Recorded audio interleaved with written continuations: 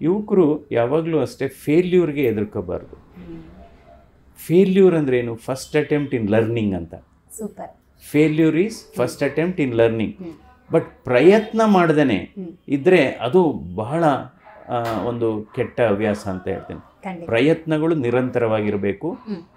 ಈ ಸೋಲಿಗೆ ಎದುರಬಾರದು. ಯಾಕೆಂದರೆ ನಮ್ಮ ಬದುಕೇ ಹಾಗೆ. ನಮ್ಮ ಪ್ರಕೃತಿಯ ನಿಯಮನೇ ಆಗಿದೆ ಜಗತ್ತಿನ ನಿಯಮ ಆಗಿದೆ. ನೋಡಿ ಇ ಸಿ ಜಿ ಪ್ರತಿಯೊಬ್ಬರಿಗೂ ಗೊತ್ತು. ಇ ಸಿ ಜಿ ನೋಡಿದರೆ ವೇವ್ಸ್ ಮೇಲ್ ಬರುತ್ತೆ ಕೆಳಗೆ ಬರುತ್ತೆ. ಮೇಲ್ ಬರುತ್ತೆ ಕೆಳ ಅದರ ಅರ್ಥ ಏನು? ಮನುಷ್ಯ ಜೀವಂತವಾಗಿದ್ದಾನೆ ಅಂತ. ಅದೇ ಇ ಸಿ ಜಿ ಸ್ಟ್ರೈಟ್ ಬಂದರೆ ಮನುಷ್ಯ ಜೀವ ಇಲ್ಲ ಅಂತ. ಬದುಕು ಕೂಡ ಹಾಗೇನೆ. ಬದುಕು ಕೂಡ ಹಾಗೇನೆ. ಅದಕ್ಕೋಸ್ಕರ ನಾವು ಹಂತ ಹಂತವಾಗಿ ಬರಲಿಕ್ಕೆ ಮ ಬಹಳ ಮುಖ್ಯವಾದದ್ದು ಸ ನಿರಂತರ ಪ್ರಯತ್ನ. ಸೋಲ್ಗೆ ಎದುರಬಾರ್ದು. ಯಾಕೆಂದರೆ ನಂತರ ಈ ಒಂದು four five Cs are important ಯಾರು? ಯುವಕರಿಗೆ. ಒಂದು ಕಾನ್ಸಂಟ್ರೇಷನ್ ಇರಬೇಕು. ಎರಡನೇದು ಕಂಪ್ಯಾಷನ್ ಇರಬೇಕು. ಮೂರನೇದು ಕನ್ಸಿಸ್ಟೆನ್ಸಿ ಇರಬೇಕು. ಇನ್ನೊಂದು ಕಾನ್ಸಂಟ್ರೇಷನ್ ಇರಬೇಕು.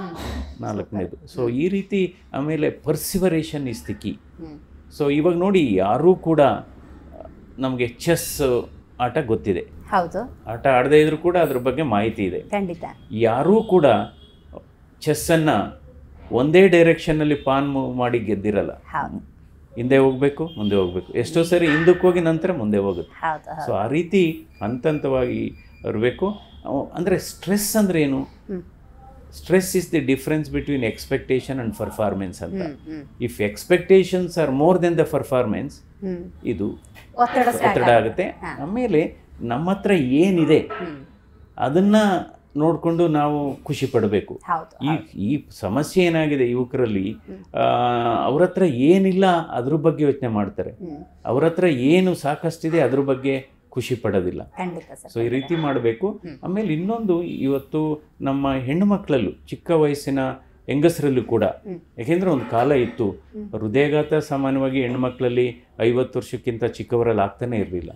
ಇವತ್ತು ನಮ್ಮ ನಾವು ಅಧ್ಯಯನ ಕೂಡ ಮಾಡಿದ್ದೇವೆ. ನಲವತ್ತೈದು ವರ್ಷಕ್ಕಿಂತ ಚಿಕ್ಕವರಲ್ಲಿ ಹೃದಯಾಘಾತದ ಒಂದು ಅಧ್ಯಯನ ಕೂಡ ಇದೆ. ಅದರಲ್ಲಿ ಶೇಕಡ ಎಂಟರಷ್ಟು ಚಿಕ್ಕ ವಯಸ್ಸಿನ ಹೆಣ್ಮಕ್ಳಿದ್ದಾರೆ. ಸೊ ಇದಕ್ಕೆ ಇವತ್ತೇನಾಗಿದೆ ಹೆಣ್ಮಕ್ಳು ಕೂಡ ಗಂಡಸರಂತೆ ಕೆಲಸ ಮಾಡ್ತಾ ಇದ್ದಾರೆ. ಅದಕ್ಕೆ ಇಂಗ್ಲೀಷಲ್ಲಿ ಮೆನ್ ಇಶ್ ವುಮೆನ್ ಅಂತೀವಿ ಹೇಳಿ.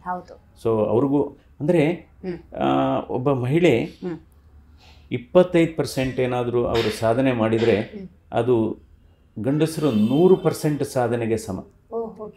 ಯಾಕೆಂದರೆ ಅವರಿಗೆ ಸಂಸಾರದ ಒತ್ತಡ ಮಕ್ಕಳ ವಿದ್ಯಾಭ್ಯಾಸದ ಒತ್ತಡ ಮತ್ತು ಅವರವರ ವೃತ್ತಿಯ ಒತ್ತಡ ಮತ್ತು ಬೇರೆ ಬೇರೆ ಕಾರಣಕ್ಕೆ ಒತ್ತಡ.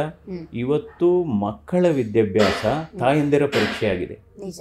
ಯಾಕೆಂದರೆ ನೋಡ್ಬೋದು ಒಂದು ಒಂದು ಅಥವಾ ಎರಡು ಮಗು ಸಾಕಬೇಕಾದ್ರೆ ಬಹಳ ಕಷ್ಟ ಇದೆ. ಇಬ್ಬರು ವರ್ಕಿಂಗ್ ಕಪಲ್ ಆದರೆ ಇನ್ನೂ ಬಹಳ ಕಷ್ಟ.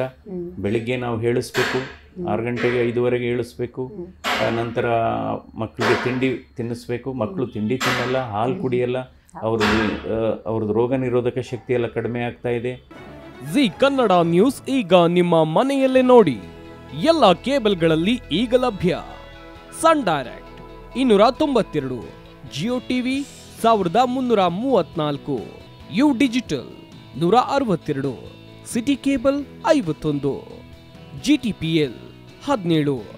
ಅಭಿಷೇಕ್ ಕೇಬಲ್ಸ್ ಎಂಟುನೂರ ಇಪ್ಪತ್ತೊಂದು ರಾಕ್ ಲೈನ್ ಟೆಲಿಕಮ್ಯುನಿಕೇಶನ್ ಐವತ್ತೊಂದು. ಶ್ರೀ ಬಸವೇಶ್ವರ ನಂಬರ್ ಅರವತ್ತು. ವಿನಾಯಕ ಡಿಜಿಟಲ್ ನಂಬರ್ ಐವತ್ಮೂರು.